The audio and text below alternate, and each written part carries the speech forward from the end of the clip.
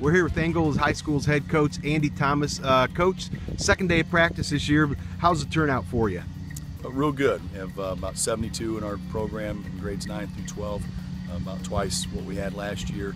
And kids are, are committed, working hard, and, and we like what we see so far. Second day in, the weather's pretty decent, so the kids are the kids are responding pretty well. Yeah, and, and they're in shape. And I, the, the rules that are in place are, are there for a reason, and that, those are good guides to go by. But our kids come in in, in shape. So uh, first day in helmets and second day in, in uh, just shoulder pads. That, that, that's good for them. But but they're in shape already. How excited are you for this? Your second season. How excited yes. are you for this? We're real excited. Our, yeah. our kids have just worked awfully hard, real hard in the weight room. Had a full commitment in the summer with, with strength and agility.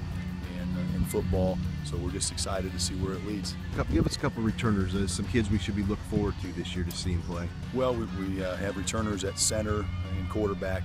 At uh, center is James Perky, and quarterback Jake Roddy. So that's a nice place to start in, in the middle of the offense.